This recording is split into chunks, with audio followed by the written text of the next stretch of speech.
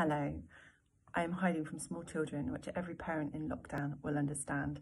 If we get through this without any interruptions, I would say that's a success. So let's see how we go. Um, I'm bringing you today's devotional from Psalm 46. So I'm just going to read it with you and then I'm going to share um, some of my thoughts and share with you something that um, I've written.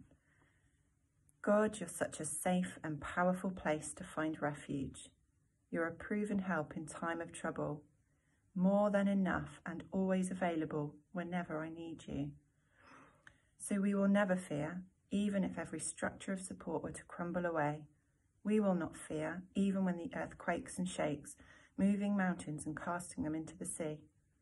For the raging roar of stormy winds and crashing waves cannot erode our faith in you pause in his presence. God has a constantly flowing river whose sparkling streams bring joy and delight to his people. His river flows right through the city of God Most High into his dwelling places. God is in the midst of his city, secure and never shaken. At daybreak, his help will be seen with the appearing of the dawn. When the nations are in uproar with their tottering kingdoms, God simply raises his voice and the earth begins to disintegrate before him. Here he comes, the commander, the mighty Lord of angel armies is on our side. The God of Jacob fights for us. Pause in his presence. Everyone look, come and see the breathtaking wonders of our God, for he brings both ruin and revival. He's the one who makes conflicts end throughout the earth, breaking and burning every weapon of war Surrender your anxiety, be silent and stop your striving, and you will see that I am God. I am the God above all the nations, and I will be exalted throughout the whole earth. Here he stands, the commander, the mighty Lord of angel armies is on our side. The God of Jacob fights for us. Pause in his presence.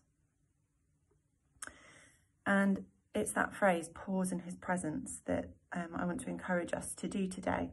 Just take a moment, wherever you're at, whatever you're in.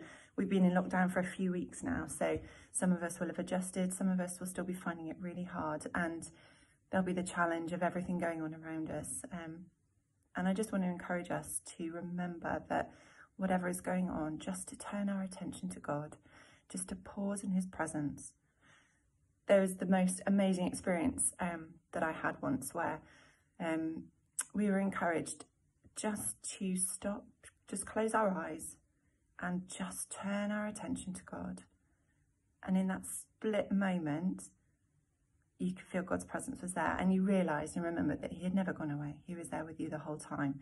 And I just love to take those moments and just stop and pause and to turn my attention to God and remember he is right there in the thick of it with me, wherever I'm at, whatever I'm doing, whatever I'm feeling, whatever I'm faced with.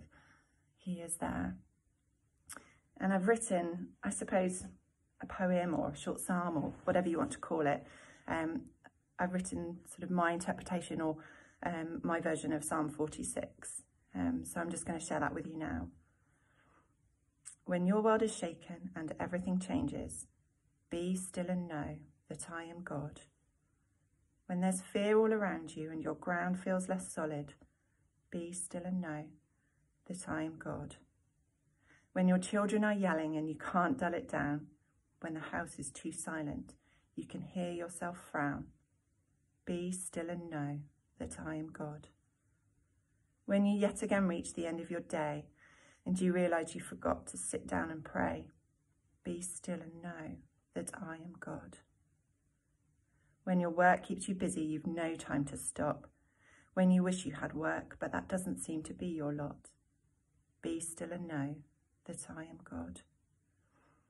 When you have so much to give for the need all around you, when your offering seems empty and the need has become you, be still and know that I am God. When spring ushers in its fresh new life, when the clouds bring the rain and shut out the light, be still and know that I am God. I was here at the start and I'm here with you now. Turn your attention and your thoughts and your heart. Stop wrestling with what could be and should be and ought. Turn your attention, give me your gaze.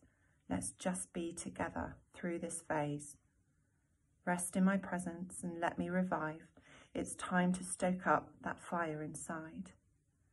You have it all. Yes, you have it all. A child of the King.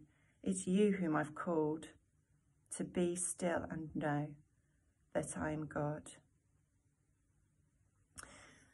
And that's my prayer for us today is that we will just take that moment to be still and know that God is our God and He's in control and He is awesome.